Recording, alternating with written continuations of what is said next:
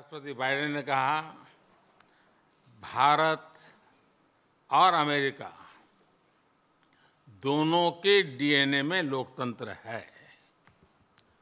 लोकतंत्र हमारा स्पिरिट है। लोकतंत्र हमारे रगों में है।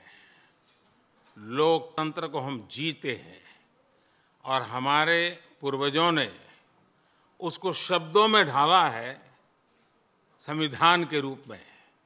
और हमारी सरकार लोकतंत्र के मूलभूत मूल्यों को आधार लेकर के बने हुए संविधान के आधार पर चलती है।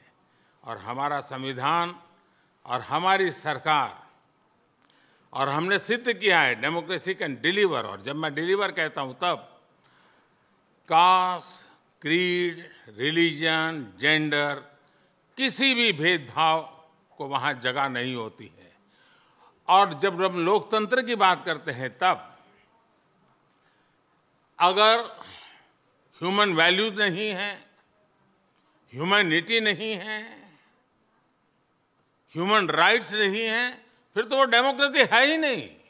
और इसलिए जब आप डेमोक्रेसी कहते हैं, जब डेमोक्रेसी को स्वीकार करते हैं, और जब हम डेमोक्रेसी को लेकर के जीते हैं, तब डिस्क्रिमिनेशन का कोई सवाल ही नहीं उठता है।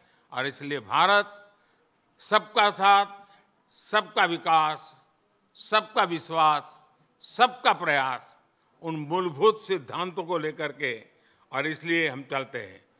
भारत में सरकार के जो बेनिफिट्स हैं, वो एक्सेस टू ऑल है। जो भी उसके हकदार हैं, उन सबको मिलते हैं।